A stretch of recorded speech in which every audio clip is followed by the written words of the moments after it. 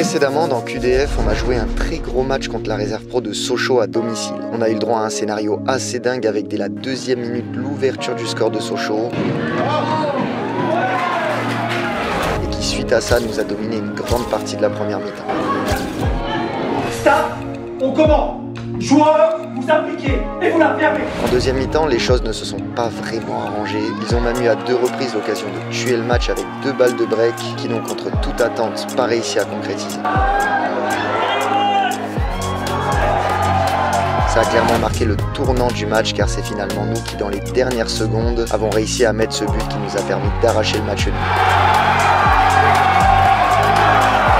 Au vu de notre prestation assez moyenne, ça reste un très bon point de prix qui nous permet de rester invaincu et très bien classé à la deuxième place du championnat avec un match en retard. Cette semaine, c'est le retour de la Coupe de France. Pour rappel, on a enchaîné les qualifications, parfois loin d'être faciles, notamment au cinquième tour contre une R3 qui nous a amené au tir au but, mais aussi des victoires écrasantes comme un 16-0 contre une R2 puis un 6-0 contre une R1 au tour précédent. On est donc déjà maintenant au septième tour de la compétition et un énorme match nous attend. Suspense, Jura, Dolois, football. On va essayer de créer l'exploit contre une équipe de National 2.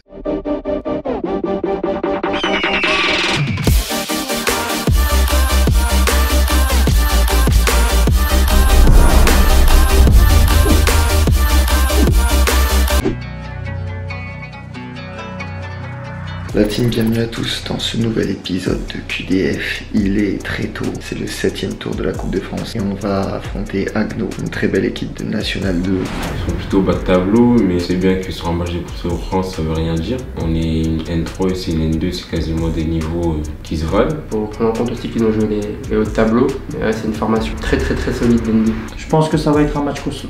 On va essayer d'aller chercher une qualification historique pour le club puisque l'objectif aujourd'hui c'est de gagner et d'arriver au huitième tour de la Coupe de France. Ça fait 8 ans que je suis au club. J'ai jamais passé le 7 tour. Et pourquoi pas contre Agno?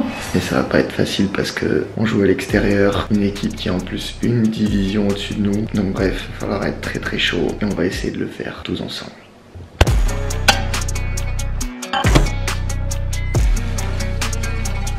Un petit peu de pression quand même parce que c'est un match de coupe, on joue à l'extérieur, je pense qu'il va avoir beaucoup de monde. J'ai reçu un paquet de messages sur Insta, c'est un truc de ouf. Les Alsaciens, vous m'avez l'air très très chaud. Vous êtes nombreux à vouloir venir étant donné que c'est la première fois que je joue là-bas de ma vie je crois. Donc hâte de tous vous rencontrer aujourd'hui. Après le petit truc qui change c'est que là ça y est, on est dans la position entre guillemets du plus petit. Même s'il n'y a qu'une division d'écart, bah, si on perd c'est la normalité. Donc le fait d'avoir un peu rien à perdre, cette sensation elle est cool. Donc on doit arriver euh, très confiant. On va même aller gagner la team.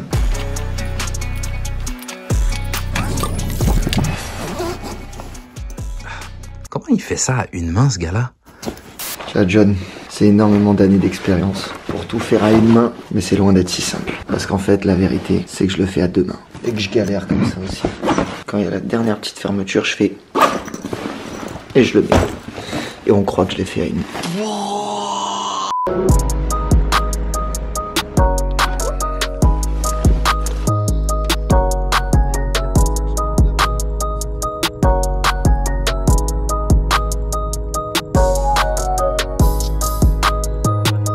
Captain Fous, monsieur 3K, comment il va? Ça va Ça va Sony, ça va? Nick, on s'est vu. Keno, j'aime bien sa tête du matin. Cerno les cernes jusqu'en bas, c'est cool. Marco triplé aujourd'hui. Tanguy, ça va? Ayo, ça va Martin, ça va Oh, voilà. Ça va? Ça fait longtemps Ça va? Super longtemps. Ça farte. hein. Ous il faut qu'on parle. Il y a eu le duel euh, Captain Ous Adri 9. Il est même pas du déplacement. C'est, c'est, c'est, on est- Il est même plus dans le groupe. c'est fou. Je l'ai éteint sur Insta, je l'ai éteint Il y a eu 3K à 2K. Plus de 1000 abonnés d'écart. Ouais. Facile. facile. C'est incroyable. Je suis à 3600, je crois, et lui, il est à 3200. Non, non, il est pas, il est pas, ouais, il est à 2000. Il perd même des Il abonnés. perd même des abonnés. Incroyable. Et il est plus dans le groupe. Il est plus dans le groupe. Ouais. J'ai sorti j'ai sorti Tu remarqueras que même en déplacement, on pense à toi. En vrai, il est blessé la team, donc grosse force à Adri. Grosse force, mais il t'a éteint quand même.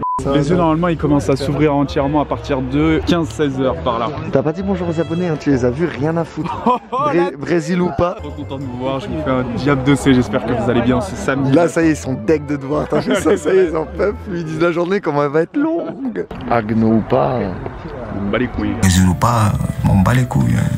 N2, machin chouette. On bat les couilles. Ouais, il dit rien à foutre. Ronaldinho, machin chouette, euh, rien à foutre. Par contre, tu la mettras pas cette séquence si on en prend 4-5. Non, non, non, non. Ouais, non. ok. Bah, s'ils voient cette séquence, c'est que on est pécho, tu vois. C'est que dans Ouais. tous les grands. on- Peut-être qu'on peut sortir, mais on a répondu présent. Ouais, mais après, t'as tous les gens qui vont dire Ah, mais vous êtes fait sortir, ils vous ont sorti.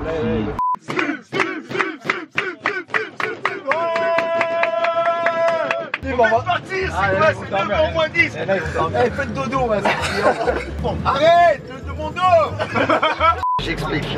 Il y a un nouveau projet. Comme on a dit, on a fait Captain House, 3000 abonnés, vous êtes incroyables. Vous avez éteint Adri, même s'il y a eu une communauté pour Adri quand même. C'est vrai que c'est peu nombreux, mais je vous propose, pendant le trajet, on va créer le compte Insta à Slim.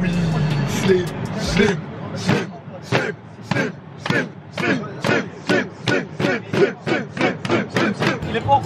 projet encore. Ouais, on lui en parle. À la pause, on lui en parle. On va discuter. Du coup, on veut vous parler d'une petite dinguerie. Et vraiment, on a besoin de vous sur ce coup-là. Vous êtes euh, beaucoup à suivre le projet. Vous demandez comment vous pouvez soutenir le club vu que vous pouvez pas venir au stade. Bah, il y a une super façon de soutenir le club. Ouais, en vrai, c'est une petite tuerie. C'est cette application Coupe de France Explore. Voilà, en gros, c'est une sorte de jeu en fait qu'a créé la FFF. C'est un Pokémon pouvez- Go version Coupe Ouais, de France c'est ça, football. c'est incroyable. En fait, vous allez retrouver plein de mini-jeux en réalité augmentée que vous pouvez faire soit de chez vous, soit aux endroits où il y a les matchs, euh, où la compétition se déroule. Et à chaque fois, vous allez gagner entre guillemets des ballons. Et ces ballons vont permettre pour les plus chanceux d'entre vous, soit de gagner de la dotation, soit des places pour aller voir vos équipes favorites en Coupe de France. C'est gratuit, c'est que du kiff et vous pouvez même soutenir votre club. Donc, bien entendu, Le il n'y a aucune autre réponse Aucun possible, débat. aucun débat, zéro débat, zéro débat. Zéro débat, zéro débat, zéro débat, zéro débat, zéro débat, zéro débat.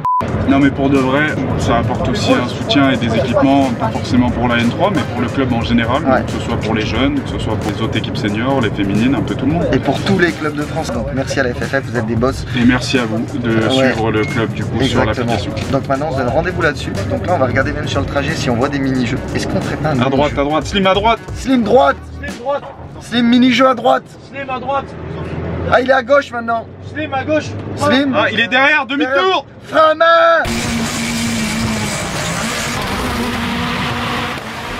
Vas-y, Joujo. Alors frotte la coupe le plus vite possible pour faire briller et engranger un maximum de ballons. Frotte, frotte, frotte, frotte, frotte, frotte, frotte, vite, vite, vite. Frotte plus, frotte plus. Mais tu la frottes super bien. Ça, elle est vraiment belle. Hein. J'ai hâte qu'on la soulève. La coupe.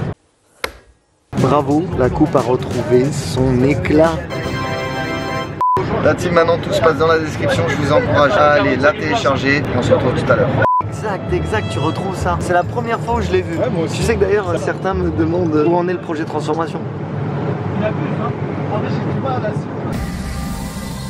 Vous aurez un épisode complet dans quelques temps, mais je vous donne un petit teasing de quand même ce qui s'est passé. Pendant 3-4 mois, on va dire, de- du début du projet jusqu'à la reprise de la saison, on a bossé de malade. Il y a déjà eu des résultats euh, plutôt stylés. Pour donner un petit exemple, dans le- l'exercice de détente, j'avais gagné 8 cm, ce qui était quand même beaucoup. La prépa est arrivée. Les 27 entraînements par jour sont arrivés. C'était donc impossible de continuer. Mais avec euh, le soutien d'Alex hein, qui nous a expliqué que bah là on avait déjà presque du surentraînement. Et donc la saison est lancée, on va pouvoir reprendre un rythme normal avec des entraînements en plus et c'est quand même pas évident parce que cette année on a 5 à 6 séances par semaine déjà ici avec un prépa qui nous fait très bien travailler mais on va quand même compléter ça pour, euh, pour notre objectif de progression. Et on vous détaillera le contenu dans une vidéo plus tard de ce que ça a donné, l'évolution, etc., etc. Avant de créer le compte Insta à Slim, on va apprendre à le connaître? On va lui poser des questions pour savoir ce qu'il aime. Slim, c'est quoi ton plat préféré? C'est la shakshuka. Shakshuka Et ta couleur préférée, Slim? Le bleu. Ton joueur préféré du groupe, Slim? Ah non, j'aime tout le monde. Il aime tout le monde. Tu préfères Ashraf ou Fauzi? Les deux. Merci. Adrien ou Fauzi? Les deux. Ah, Adrien. Préfères Faou ou Noé? Noé, je déteste.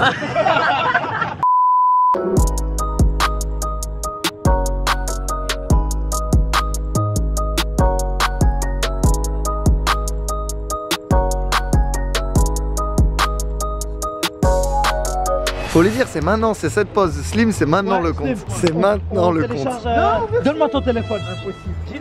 Il peut faire des placements de produits pour aller en Tunisie gratuit cet été. À, à la fin de cette vidéo, t'as une paire Puma, c'est sûr, Slim. C'est sûr. et Grâce aux abonnés, ils vont te mettre bien, c'est sûr, ils vont te mettre bien. C'est bon, on lui fait, on, On lui lui fait. fait, on on va lui fait. Dans le match, Erwan déjà? Totalement. Bah, je suis sur le terrain là. Les gars, abonnez-vous, très important. Putain, mais même là, il vient casser les couilles. C'est quoi ton record Coupe de France, Erwan? Record de tour. On a fait cinquième tour avec ce. Ayoub, tu penses qu'il a fait mieux? Ayoub, lui, c'est sûr. Ayoub, c'est un mec, meilleur tour en Coupe de France que t'as fait, Ayoub. Deuxième. 32ème Vous avez pas pris une Ligue 1 Non. Frustrant. N2. Salaud. Faou, ton record en Coupe de France Quart de finale. La quart de finale. Quand t'étais en Ligue 2 Euh, on perd euh, 1-0 je crois. Nous on a fait 16ème, mais quart de finale, je pense que c'est toi le record de l'équipe. T'étais titu Oh putain. Créer un compte Créer un compte, mais. Créer un compte autres Non, nom d'utilisateur. Comment on l'appelle? Slim-du-bas pilote. A few moments later. Ah, c'est exceptionnel. Franchement, c'est. Attends, on est le combien? 29 octobre. C'est un grand jour. Très grand jour. Ajoutez une photo. C'est un grand jour pour Instagram. Ah, attends. Je vais, je vais t'en trouver. C'est celle-là. Ça, c'est. Ouais, il a vu que j'étais titulaire.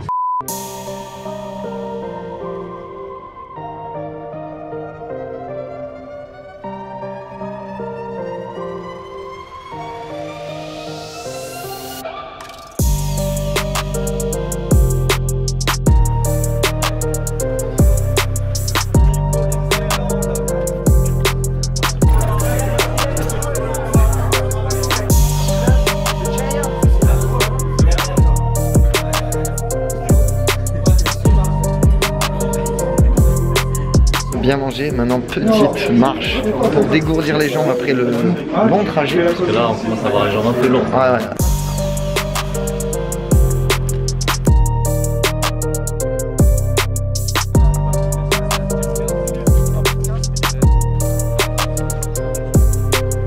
Là, à titre perso, je pense plutôt commencer latéral droit. J'espère en tout cas. On n'est plus qu'à deux tours de potentiellement jouer euh, les équipes de Ligue 1, donc c'est quand même assez énorme. Et surtout, on peut marquer réellement l'histoire du club qui a jamais été plus loin que le septième tour. Donc on sait que c'est pas un simple match de coupe, c'est plus que ça. Ça va pas être facile. Je pense qu'ils nous prennent très très au sérieux des échos qu'on a eu. D'ailleurs, n'oubliez pas au passage de d'élire l'homme du match. On regarde attentivement vos commentaires pour savoir qui a été le fameux MVP. Comment t'appréhendes euh, ce match, mon Will? Ouais, déjà beaucoup de plaisir parce qu'en vrai, euh, septième tour de Coupe de France, je l'ai jamais fait. T'as jamais fait Jamais- bah, ça fait deux ans que je suis enseignant déjà. Ah oui, oui. Ah, Will, alors il essaye de nous faire croire que c'est un 2001. Non, je suis vraiment à 2000. Voilà, des bruits qui courent. Toi, tu peux faire le record du club et ton record Et perso. mon, bah, je suis déjà dans mon record perso. Là, on retourne au minibus. Le coach, il fera la causerie au stade finalement, puisqu'au resto, on pouvait pas être forcément très tranquille. Et là, on rentre dans le vrai, on rentre dans le concret. C'est parti, concentration, on se met en mode match. Ça fait plaisir cette année. On est avec un groupe qui vit super bien, qui déconne, qui rigole beaucoup. Mais quand on est en mode compétition, on tourne et là, il a plus de blague. Je pense que c'est ça qui fait notre force aussi. C'est cette cohésion, l'ambiance qu'on a entre nous, en espérant que ça continue aujourd'hui surtout.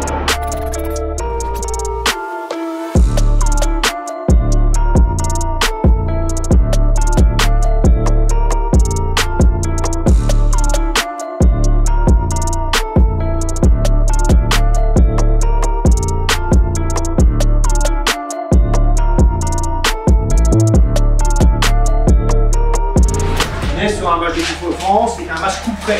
D'accord Donc c'est toujours des matchs particuliers, avec toujours cette règle. C'est la seule chose qui compte, c'est d'être qualifié, vous êtes éliminé. Vous avez une vraie obligation de performance dès le départ. La seule différence qui nous sépare d'eux, c'est qu'ils ont peut-être l'habitude, du niveau national 2, de jouer contre des équipes avec plus de qualité. Donc la moindre erreur se punit peut-être un peu plus que ce qui se passe en F3. C'est pas la qualité des joueurs de chez eux par rapport à votre qualité à vous. Même prêt à penser qu'on a peut-être en qualité de joueurs plus de qualité. Mais par contre, sur l'habitude du niveau de jeu et l'exigence qui va avec, c'est là qu'ils sont meilleurs que nous. Pas qu'ils sont meilleurs, mais qu'ils ont une habitude que nous, on n'a pas. Et ça, c'est dans le mental, c'est dans la concentration, c'est dans la rigueur, c'est dans la détermination vous êtes, on va le gommer. C'est facile à gommer à condition qu'il y ait ça. À la différence des matchs d'avant, là, on peut penser que le temps, le temps, c'est votre partenaire. C'est que plus le temps passe, plus on reste à 0-0, plus c'est eux qui sont de l'urgence. Ça veut pas dire que nous on joue 0-0, mais ça veut dire que dans notre approche du match, on est moins dans l'urgence que eux sont les deux, nous on est trois, ils nous reçoivent, ils sont chez eux. Donc ça veut dire que sur le schéma du match, l'obligation est plus sur eux quand même que sur nous. Vous n'avez pas le droit de faire le premier quart d'heure de ce show. On ne peut pas au bout d'un quart d'heure de jeu être mené à zéro parce qu'on a mal débuté le match, parce que là, ça veut dire que ce phénomène d'urgence-là, on le renverse. Ce qui est en notre faveur va devenir en notre défaveur. C'est un match où il faut performer individuellement pour qu'on puisse performer collectivement. Allez,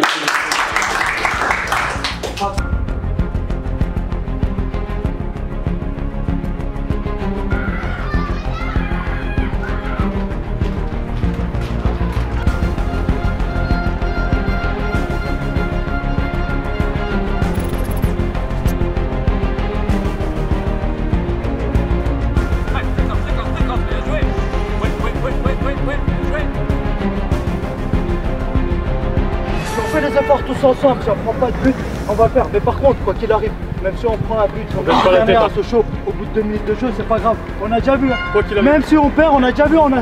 on sait revenir. On sait revenir, on lâche pas. Si vous êtes fatigué au bout d'une heure, c'est pas grave, il y a des remplaçants. Un match de coupe, c'est tous, tout un groupe, d'accord? Vous pouvez croire, on va le faire aujourd'hui.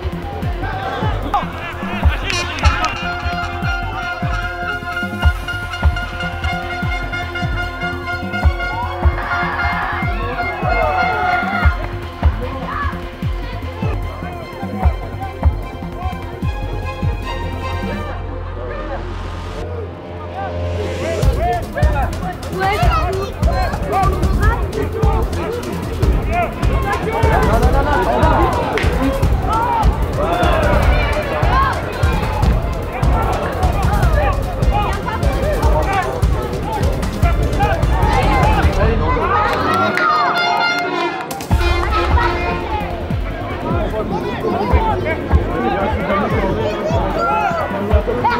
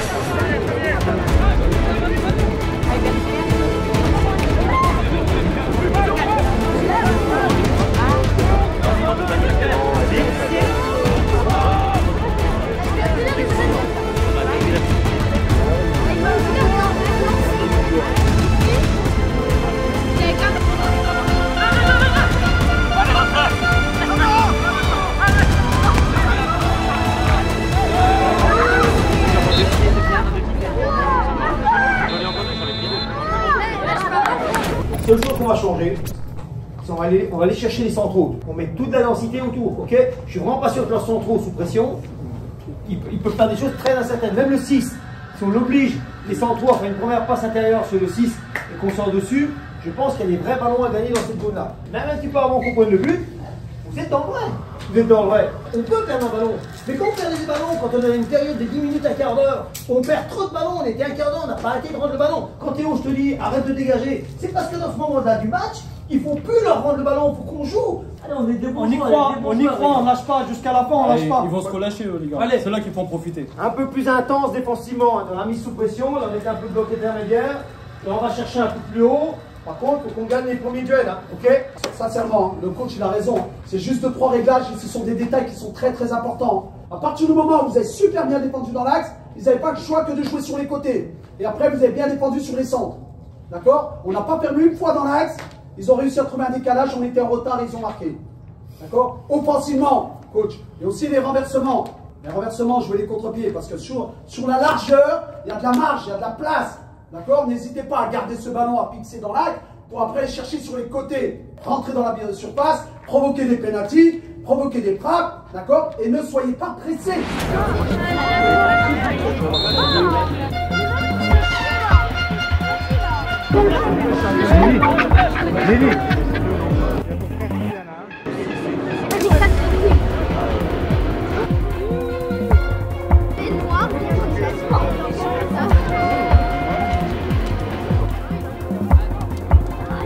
Thank you.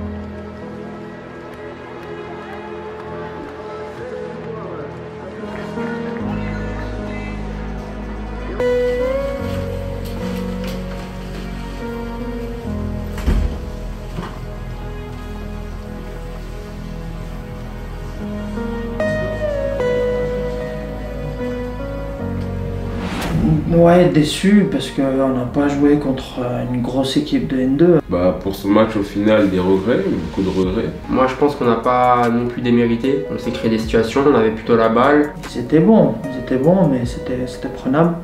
Fait pas un mauvais match, mais je pense qu'on fait quand même pas assez pour mériter la qualification. Les 15 premières minutes on déjoue, on joue pas le football qu'on a d'habitude. Je trouve qu'on s'est caché, qu'on balançait, que en gros c'était pas notre projet de jeu. On n'a pas pesé offensivement, alors que c'est notre point fort. On a des très bons joueurs devant, mais sur ce match-là on n'a pas on n'a pas su faire mal. Mais ouais, il y, a des regrets parce que c'était vraiment accessible. Il y avait vraiment un huitième tour qui nous tendait les bras, mais malheureusement, ça s'est pas passé comme prévu.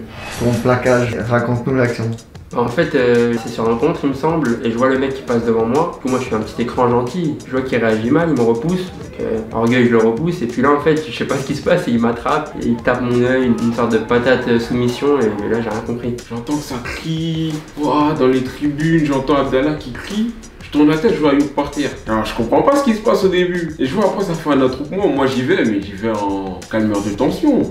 En gros, parce que j'ai pas vu l'action. D'ailleurs, je vais le voir, le gars, en lui demandant ce qui s'est passé. Il me dit J'ai rien fait, je l'ai pas touché. On, s'est croisé, puis il est tombé, c'est tout. Mais il me dit pas qu'il lui a mis une claque et qu'il l'a fait tomber. Je pense que sur trois arbitres, l'action s'est quand même passée. Je l'ai revu, revu, revu. Elle s'est passée en plein centre. Normalement, il y a un des trois arbitres qui doit voir et prendre une décision. Et tu penses. Euh, ouais, c'est rouge direct. Ah, ouais, rouge direct. je suis allé voir l'arbitre de touche. Pareil, l'arbitre de touche n'a rien vu. Après, le central, l'arbitre central, c'est normal, puisqu'il regarde le jeu, donc il peut pas voir. Mais l'arbitre de touche, c'est pas normal. Mais le juge a vu. Et l'arbitre central n'a pas été voir le juge euh, pour lui demander. Mais quand j'ai revu l'action, ah non, non, non, en fait, pas calmer du tout.